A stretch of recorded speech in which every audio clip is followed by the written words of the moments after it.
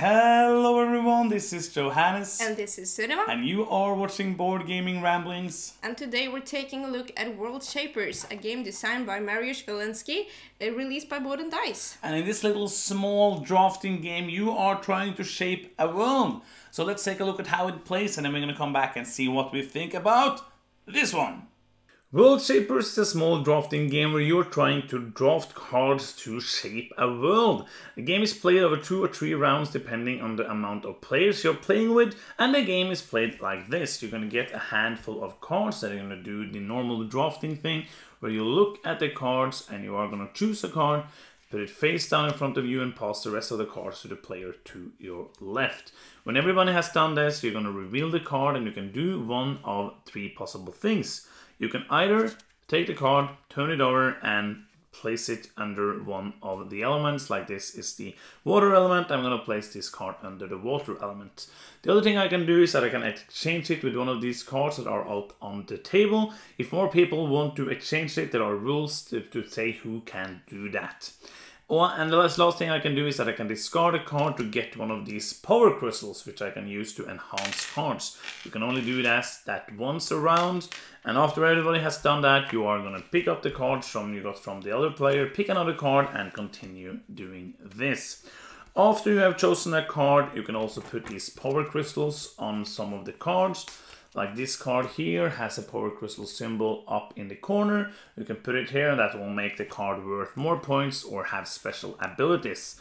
After you have played two or three rounds doing this, then you're going to count off the points and the winner is the player with the most points. So that's a quick overview on how you play World Shapers. So what do you think about the artwork and components? Artwork and components, yeah, let's talk about that. Let's start off by saying there's not too much to say because this game is basically a deck of cards and some tiles and some of these crystals. Power crystals. Power crystals is what it's called. That is basically what's in the game. So let's start with the positives. Uh, I really enjoyed the artwork on the cards. Yes. Really beautiful artwork and, and big cards, which it looks good on the table. Like yes. when you when you have all of these different beautiful artworks, which I'm holding under the camera. Sorry for that. They are up here. They look good. I really, really like that. So you that feel is, like you're building a little world. Yeah, kind of strange world you, with different little elements. canvas in front of you, and each of the artworks um, matches their elements. Yeah, absolutely. So that is that is a positive. Let's talk about something that's not so positive. Uh, they have different symbols for different elements, which I think are kind of weird. Let's start with this one which is water. In my mind, this is a wind symbol, so it's kind of hard for me to to see, like, to understand which it is, which is which. This could have been kind of like just a water symbol, like a drop of water or many drops of water, if you wanted to make it some different. So, because like this is fire, you will that's never think obvious. that's not fire and, and also this is wind which could have been earth so maybe so actually water and wind are the ones that i do not like which makes the game bit more hard to, to get into but but it, it's it's not like a huge problem because it are it are colored in the text when it's sunless it says water it will be blue so you will understand that so it's not like a huge problem but I it's kind of nitpick which i think it's a might be a problem for those who don't see colors yeah, mm-hmm. the same yeah. colors as us, but um, but you do have the symbols on the card, so yes. you will see the symbols. So anyway, you will. It's you, not a huge struggle, but it's a little bit annoying. Yeah, absolutely. Uh, so yeah, that's components basically. Not yeah. too much else to say. So let's get to gameplay, which is the big main part. Let's start with the positive. This is, uh, in its core, it's a super simple game to learn because it is a drafting game, much like Sushi Go. Like it's a super simple filler drafter game where you will get some cards, you will pick one, and then you will either play it, discard it for a power crystal, or switch it with a card, which is kind of maybe my favorite mechanism of the game that you have this kind of pool outside of the, the, the other cards that you can switch it out. But if all more players want to switch them out, and there's a player with the least power crystals who gets to switch it out. Mm. That's kind of my favorite mechanism of the game, uh, and that works kind of well. Mm. Uh, so, in itself, this game could be good. Mm. Like it could be a, a super simple filler draft game. The problem is that there are so many things that they did choose to do under production and the, the, the proofreading and the rules, which makes this game not good. Yeah, I can't say much about that because you're always the one who reads rules. Yeah. But you showed me some of the rules in the rule book, and I I would struggle to to play this right. I think, Hmm? uh, especially with my my lack of experience in the rule book reading. Hmm? I think like the, the rules the rules are so simple, but they have made it like kind of they made the, the rules too simple because there's a lot of things that's not in here. There's a lot of a lot of cards which are really unclear, and then I'm gonna go okay, let's see what card does cards does.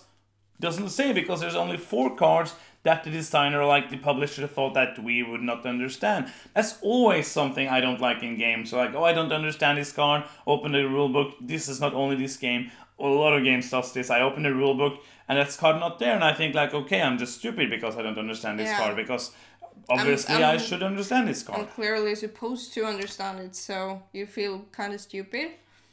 Yeah, yeah, and, I, and it's like it's a lot of scoring. Like some of the like this is one thing.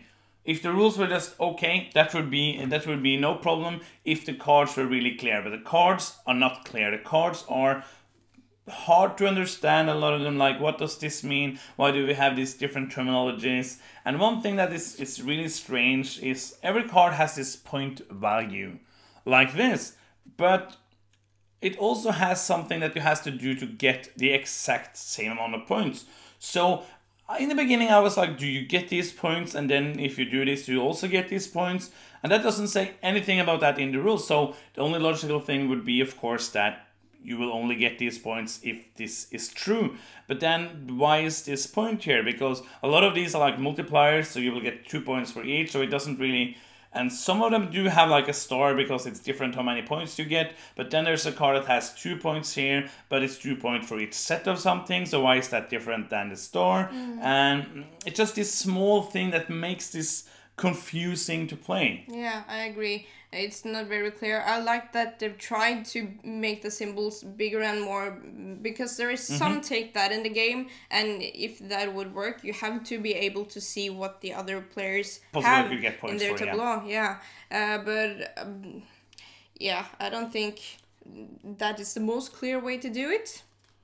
No, and I, I think like this this game suffers from that. Like if it was said in the beginning, if it wasn't for the unclear rulings of the cards and the unclear rules and some choices they made, this this could have been a simple filler drafting game which which is the point of the game to be super simple to learn you can play it in like 20 minutes with four players super quick you can play it with anyone but the problems with the production makes this more confusing to play than actually fun Yeah, but if I should look at the gameplay alone, not with the flaws we mentioned here, Yeah, I- then I, then I would think it's an okay game. Mm-hmm. I like what you're also liking the pool that you can switch Mm-hmm. switch around, and also that you can switch one time in a row in a round. Yeah, you can for- switch uh, with a power cube, Yeah. and that enhances another card. So if if you don't have a card in your hand that is going to give you more than two points, maybe then you can enhance a card and mm-hmm. get more three more points instead.